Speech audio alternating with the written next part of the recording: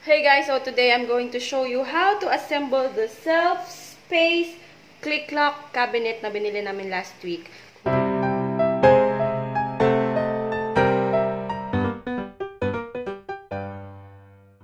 Kung hindi nyo napanood yung video, ililid ko yung link niya below sa description box or dito sa taas. Yung I button dyan.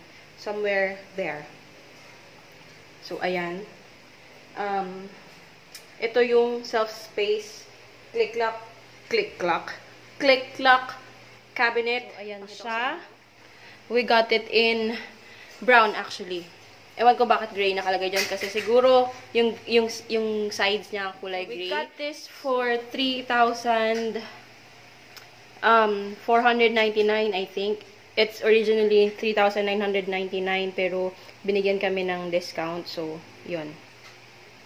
So, ayan. Um, kung gusto nyong makita kung paano siya i-assemble, please keep on watching. Ayan guys, nagawa ko na yung first few steps. Actually, madali lang siya kasi may number naman. Ayan o, step 1. And then, this one is step 2. And then, step 3. Um, ayan yung back. And then, step 4, ito yung side. Step 5, um, yung other side. And then, itong step 6, ito yung tray. Isa sa mga trays. So, iyan mo lang siya. Um, excuse me. Um, it's up to you kung dito mo siya gustong ilagay or dito. Tapos yung isa pang tray, either here or here. And then, yung step, uh, ano yan, bali step 7. Either here or here. Step 8, dito siya sa gitna. Parang pinaka-base nung, uh, ano ba, yung half of the cabinet. So, ayan. Medyo na-stop Ito na itsura niya. Yung um, part of half of the cabinet. Part pa lang yan kasi yung um, door, syempre hindi pa naikabit. So, ayan, ikakabit ko muna yung trays. Uh, step 6 and 7.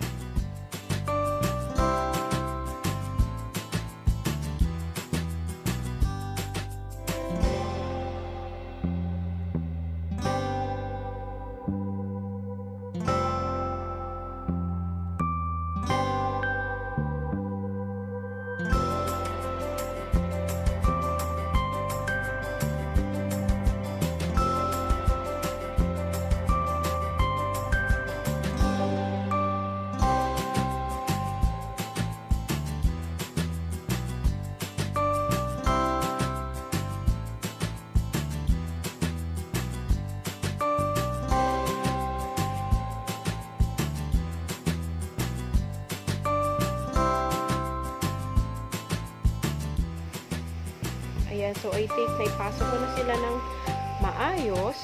Ganito siya guys. Malalaman nyo pag, malalaman nyo pag okay na pag ito siya. Ayan siya mahirap. Wait, ito natin sa kabilang side. Yun, pag nag-click na siyang ganun, okay na yan. Okay na yan. If ever magkamali kayo, gamit kayo ng tools to push tool or tools. Kung anong mang tool meron kayo, gamit lang kayo to push this one, tapos magre-release na yan. So, okay na to. Okay na ting isa. Ito. Ayan, click na siya. Wala. Ayan, okay na yan siya. And then, yung front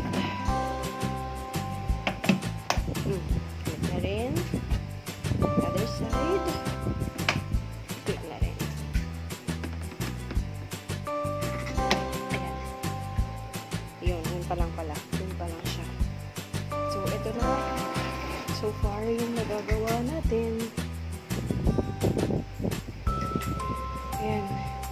So, yung top part naman. Ayan yung step 9 pinto. Pasok na siya dito.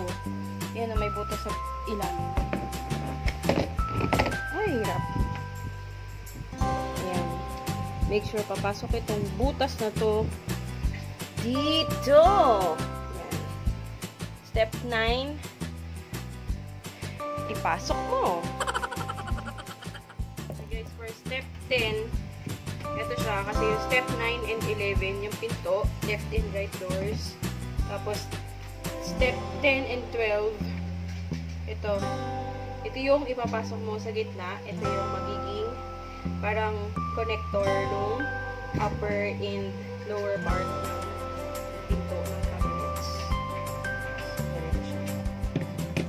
ganito siya. Ito, papasok mo dito. Ayan. Papasok mo siya dyan. Yan, yan.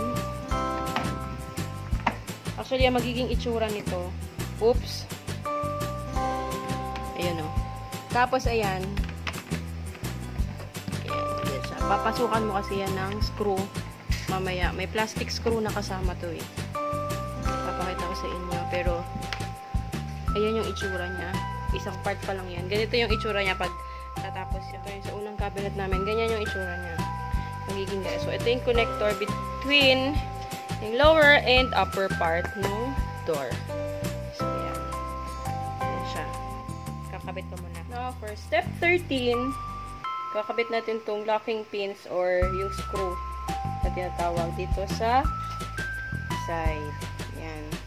Yung butas na yan. Plastic screws lang din to. eh. Ganyan. Ito yung mahirap isuksok eh.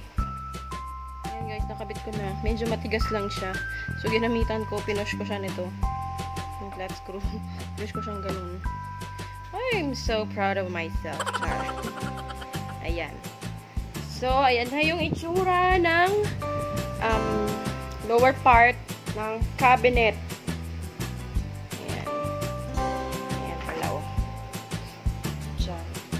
Pwede ko pa sanang itaas na lang ito.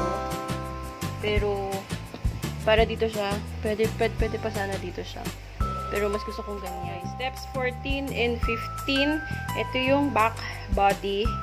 Kagaya nung steps 2 and 3. Yan, sabi niya, back body facing out. So, ibig sabihin, babalik na rin natin ganyan.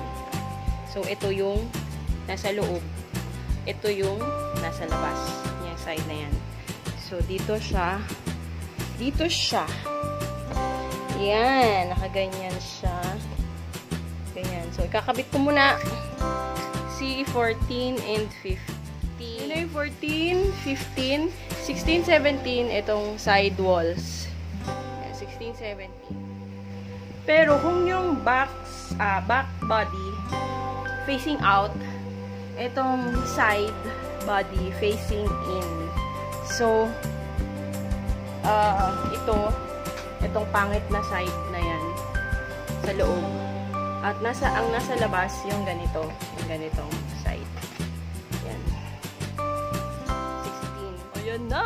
16, 17, 18. Pala mga besh. 18, 19, yung tray. So, kakabit ko muna tong tray. So, 18. Kailangan ko kayong alisin dyan kasi estorbo kayo. So, that's 18, 19, 20. I think yung pintuan. 21. Yes. Kasi yung last step is 22. So, yung 22 pala yun, top. Yung bubong niya. So, 20, 21. Okay, so this is the last step. Step uh, 22. Dito na siya sa taas. Kailangan ko nang tumungtong yan kasi hindi ko na yan yan abot vesh. So, ayan. Ganap po na ako ng tuntungan. And that's it guys. Ito yung itsura ng likod niya. So, ayan. Tsaka back. Tsaka back part. Side part. And then yung front. Ayan yung front.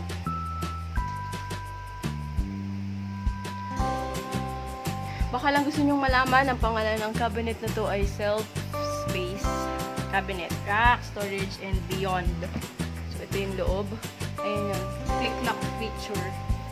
Click-lock kasi pagka uh, pinush down mo at nag-click, ibig sabihin lock na yun. Ready to assemble plastic furniture. Plastic muna kami ngayon kasi wala lang. Saka na kami mag Mga built-in, built-in chorba, mga ganun. Actually, pag ganito maliit lang space mo, mahirap mag-built-in kasi wala ka nang, hindi, wala ka nang chance na ilipat yung cabinet na yun. So, ganito muna. Pag nakabili na kami ng palasyo, char. Ayun. Meron siyang black, brown, beige. Or, ito, yung shelves, ganito yung una namin. Yan, yung may hangeran. Ito pala. Ben. Tapos, ito yung, ito, yung inassemble natin ngayon. Ganyan siya, puro shelves. Kasi nga, puro yung mga naka-folded na clothes. Tapos, ayan, shoe cabinet or kung ano man gusto nyo ilagay, meron din, mas maliit.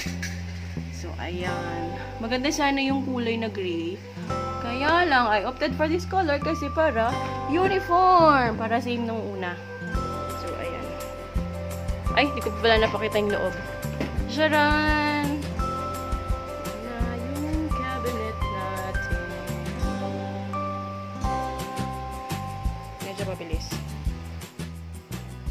That is it, guys. That's how you assemble the subspace click-lock.